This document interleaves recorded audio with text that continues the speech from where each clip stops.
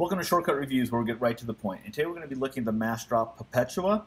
This is designed by TJ Schwarz, the guy who also designed the CRKT Caligo. Um, that's in a different price category. Uh, that's an expensive knife running on 8Cr13MoV, for example. This is uh, cost me about 120 bucks. It was 110 if you pre-ordered it. And so I knew a little bit about this knife when I ordered it because I actually got it on the second drop. So Massdrop made about a thousand of them. They sold about 800 some odd of them. Then they opened up the last remaining ones just about three weeks ago, and I grabbed it then. So next to the Benchmade Triage, very similar construction. They both have Axis style locks. The Axis lock is now trademarked, Axis lock, but the actual mechanism is no longer under patent protection. Has a very similar blade length edge as a paramilitary 2, but more efficient in size, you know, no choil those kind of things. And you know, it's not a huge knife. It's a heavy knife, a little over four ounces. And as always on this channel, weights and measurements will be in the description below, so you can take a look at those right now. But compared to a dollar bill and a zebra pen, it's actually a pretty nice size EDC knife, if not just a little bit heavy. So the only writing is on the blade, and we have our Massdrop and the serial number 884 and Nitro V. So Nitro V steel is really just basically AEBL with palladium and nitrogen added should give it some more corrosion resistance and some carbides to make the edge last a little bit longer. It's not a super steel by any stretch of the imagination, but it should be easy to sharpen. And they've done a lot of things to make it easy to sharpen and maintainable. So let's look at that. So the first thing they did was they didn't swedge the top of the blade. They left it flat. So if you have a clamp-on system, it's going to clamp on there really, really nice. Continuous arc is going to be easy to set with your clamp-on system, and uh, and a beautiful sharpening choil here that is a sharpening notch that's well executed. Uh, there's no smiles there at all. And then they aggressively hollow ground this blade. They actually do it on a CNC machine. And the idea here is, is as you sharpen this knife and the blade profile gets a little shorter, it still stays relatively thin behind the edge. So that's nice as well. And because it's not a super steel, it's actually going to be relatively easy to get an edge on it. It has really coarse jimping, but but the right amount of aggressiveness doesn't tear up your thumb, but it really does help you lock it in. So I, I, I love the blade. It's got a great blade. It has a super neutral handle. I mean, this choil is almost nothing, and the rest of it's neutral. So think of it as a Glock without finger grooves. So your fingers can go where they want. They don't get separated weirdly by a bunch of choils on the handle, so that's that's really nice. And and even this sweep is is really nice. Just how the handle runs right into the jimping. Uh, I I think I mean, if you look at the dictionary under knife as tool, this is the picture. There's nothing not needed on this knife, and everything that is needed. So people complain about screw sizes. It's got T8s holding it together and a T10 on the pivot. That's that's nice. Even T8s on the clip. So really nice construction there. It does have mildly milled out liners. They could have been a little bit more aggressive there and brought the weight down just a little bit more. But again, strength is what this knife is about.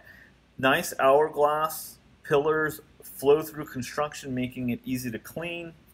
Just nice. The liners are, they're okay. You can see just they're not like gapless when you put them together.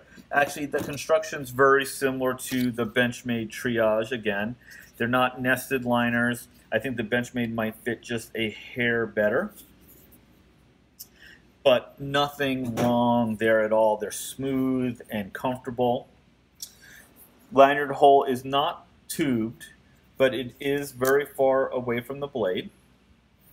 So let's talk about some of the complaints that people had and some of the things I knew about going in. And one of the things I didn't. Here we go. So the first thing is people complain that the thumb studs are too short. They are just a little bit shorter than the width of the knife. I think that keeps them out of the way. Now, they're also very close to the liner, but if you want to slow roll this knife open, no problem whatsoever. The action's very nice on those phosphorus bronze uh, washers. But if you want to open it, it seems to want the force to go in that direction, not not out. So you just basically run across the scales like that and just up. And I've had no problems there. Again, axis lock flips down just fine. I cannot Spidey flick it. I just can't seem to get the right angle here. But um, again, it's a tool, rolls open just fine. The second thing that people complained about that I knew about was this clip. This clip is just, uh, it's a well-designed clip. I actually like it. It had a ramp that was just a little bit too high on it, but I was able to push that down with my thumb. And so let's take a look at this clip. Here's the clip. I'm going to push it down, and there's the clip. The clip is junk. I, I, don't know what it's made out of. Recycled pop cans. I have no idea. But it is too weak for this knife, and this knife needs a new clip for sure. I do like the way they cut in the clip. They do. It, it's very similar to the Pilar, the CRKT Pilar. But a new clip is going to be need to be made for this knife or purchased for this knife or something. I might be spending a lot of time with a file to get it to fit in there. I have no idea. But it's junk, and I knew it. I knew it going in. Here's what I didn't know going in, and this is just a QC problem. I, I love the design. I think TJ Schwarz is a guy to um, to watch. I think Millet had a tough time getting into the production business. Uh, they were kind of a semi-custom shop before. They're trying to get into production businesses, which is great, but they need to hire some QC people. Here, here's what I'm talking about. This side with the maker's mark on it is really nice. Got uh, nice texture, nice, nice traction. Almost the same as a regular paramilitary 2. Maybe yeah, about the same. The other side has zero traction. It's almost like the Cruwear paramilitary 2. There's no, uh, there's just a little bit of a pattern, but it's no traction. I think what happened is the blank got flipped over before they cut it. And so my guess is once I disassemble this, there'll be texture on the bottom, which is also why we don't have the perfect fit and finish that we would expect. That's what I'm thinking but I don't know for sure. This is a beater knife for me. I'm not going to return it to uh, Massdrop. I don't really want to deal with it, but it, it is weird that that was able to get through the factory. So again, the two things I knew about was the short thumb studs doesn't bother me at all. The clip is absolute junk. It's a nice shaped clip. There was nothing wrong with it other than maybe a little bit too high. But so many clips are like that. You just you know you bend them. But usually you have to take them off the knife to bend them.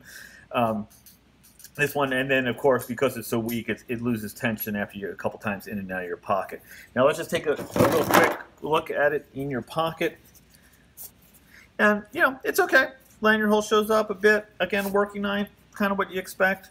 Not a problem there. Great action. So again, I love the design. I just think the execution wasn't uh, as good as I would have liked it to be. You know, it was 120 bucks for me, 110 bucks for most people who pre-ordered it, but then had to wait a really long time. So it's not an inexpensive knife. I mean, it's not super expensive these days, but it's not inexpensive. But the Nitro V will be interesting. I love the design. Thanks for joining me for actually this rather long shortcut review. The negative ones tend to be longer, I hate to say. And I'm a little bit negative on this knife. It, it's certainly heavier than I will probably carry for the weekday.